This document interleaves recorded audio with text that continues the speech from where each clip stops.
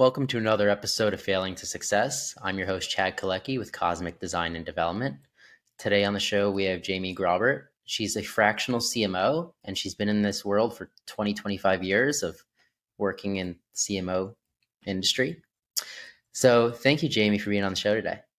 Yeah, thanks for having me. So we were just talking about some major changes in your life you had to make in fall 2021. Can you share that story?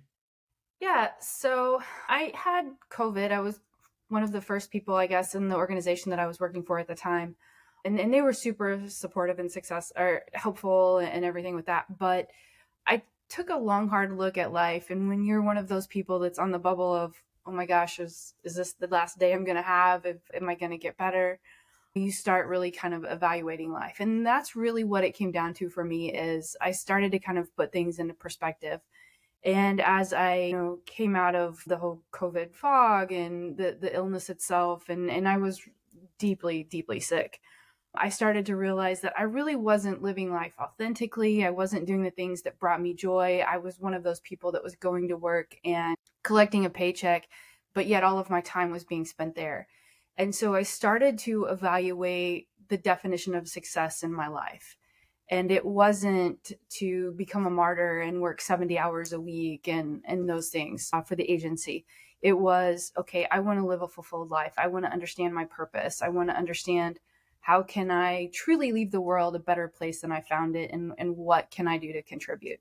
And so i started evaluating those things and and one of those things was to move somewhere where i felt a little more comfortable felt more of the vibe that I, I wanted to live. And so I actually, when I right after I returned to the office, I had a really long, hard talk with our founder and CEO and told him that I wanted to transfer to our California office. And he thought it was a great idea. Also, with some things, transitional things that were going on there, that it, I would be a good addition to the team and I started just really reaching out once I landed here. I hit the ground running. And, and I'll tell you this Chad, if you haven't had to find a place to live and adapt to a new life in the middle of a pandemic when everything is locked down, that's a real trip in and of itself. But as part of that journey, I drove across the country. So I stopped a lot at a lot of places and really kind of learned more about myself, about what I wanted, and had a lot of thinking time.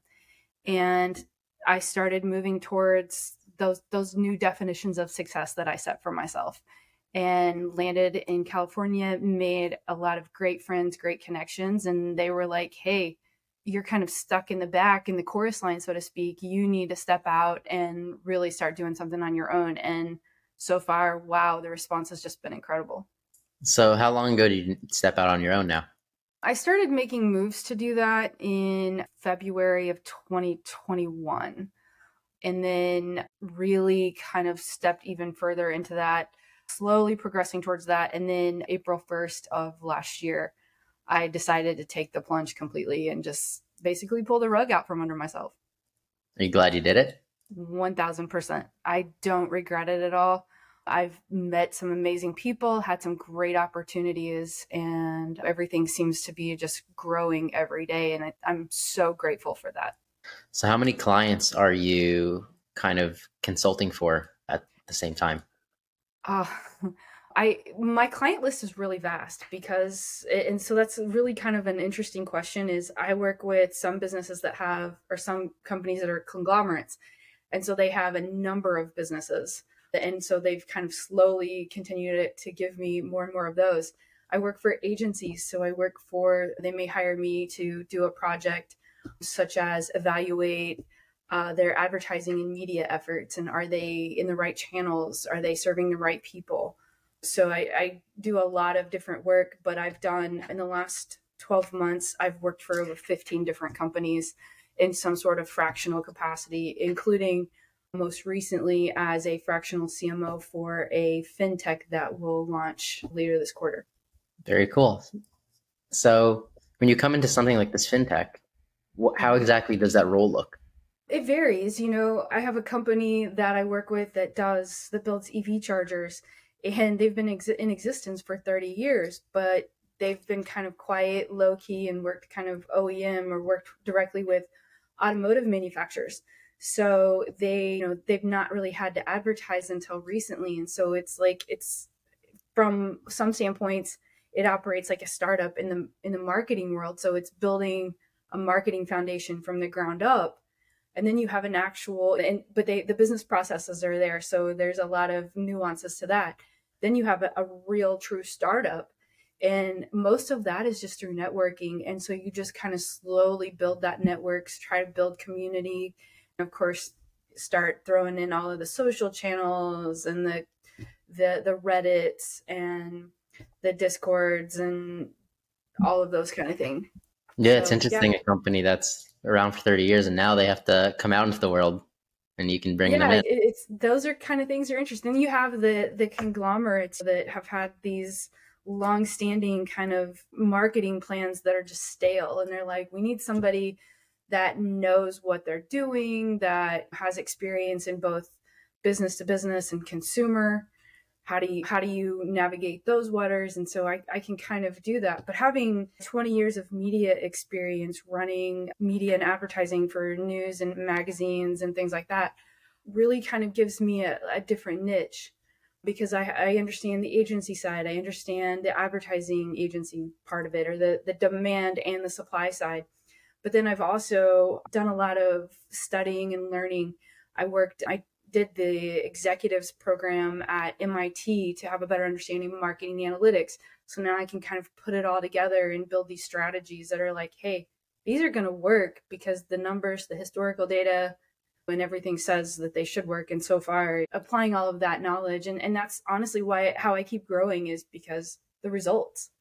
They kind of speak for themselves. They're like, oh, hey, you know, we ask you to get us 250 leads. You got us 600 in six months. Like, here, take this business unit. What can you do with that?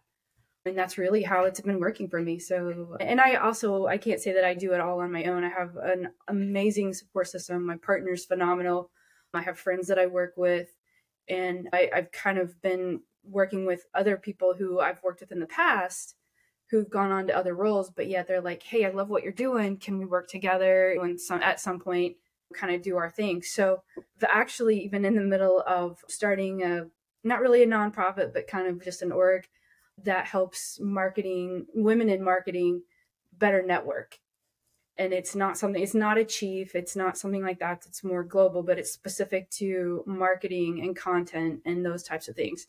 Because there's a lot of, of introverted people out there that do phenomenal work. And I tend to be a little more I'm, I'm kind of what they call i guess a, an extroverted introvert so and i keep getting all of these introverts and they're they're phenomenal at what they do but no one knows they exist so i'm trying to help them help people like that that really want to to get things going and and really kind of start out on their own how do they get started so working in in kind of a mentoring capacity like that well, that actually brings me to my next question. What would be your advice to new entrepreneurs or people just starting out?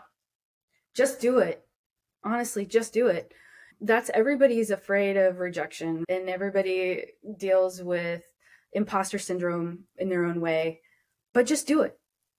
Don't don't wait because one, no one's guaranteed tomorrow. If the pandemic taught us anything, it's that. But it's also if you just do the thing, you're being true to yourself. You're you're following your heart, you're following your passion, and you're going to pour everything you've got into it.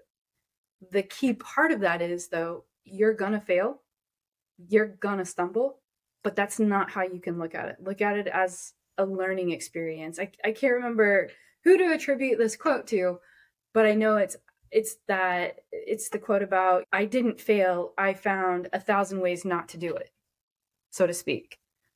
So it's it's all about perseverance. If you're an entrepreneur, entrepreneurship is all about perseverance and get plenty of rest, build a good support system, eat healthy and exercise. Those are the big things. We're going to attribute that quote to you. That's going to we're going to coin the phrase. So, Jamie, if our listeners wanted to reach out to you to find out find out more about your business or this new venture that you're starting, how would they do so?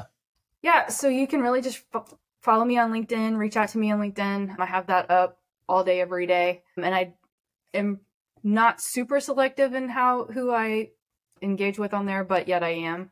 So I, I do look at everybody who sends me a request, look at every message, and then kind of go through and triage those, so to speak, or say, hey, yeah, this is a great thing.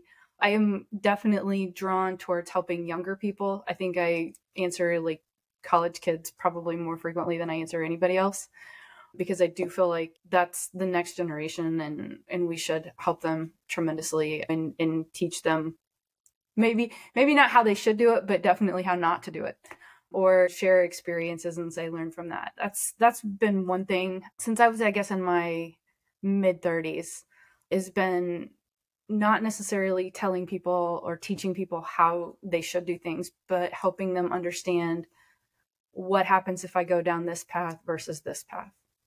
And, and really think it through and, and things like that. That's to me because teaching people how to problem solve and and make sound decisions it is the most important tool that you can ever give anyone. Well, you're on the perfect show for that. Thanks. Thank you, Jamie, for being on this episode of Failing to Success.